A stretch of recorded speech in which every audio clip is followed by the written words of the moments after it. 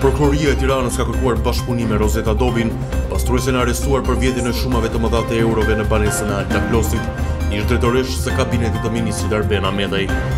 Gruaja që tronditi opinionin publik me vjedhjen e rreth 525.000 eurove, 8.500 dollarëve, 368.000 lekëve dhe 110 sendeve me vlerë, vijon të mbajë misterin e pronësisë së një shume financiare prej 404.000 euro të gjetura në tubin e aspiratorit të banesës së saj.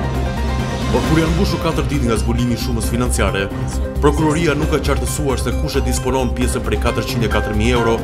grupi i hetimit pranë Prokurorisë së Tiranës ka zgjedhur të ndjekë teknikalitetet duke ofruar bashkëpunim me Rozeta Dobin, me shpresën se dëshmia e saj do të sjellë zbardhjen e plotë të ngjarjes dhe zbulimin e emrit të pronarit të katërqind e katër mijë eurove. Mësohet se Prokuroria e Tiranës gjithashtu i ka ofruar Rozeta Dobit bashkëpunim dhe lehtësim të pozitës penale në lidhje me këtë çështje.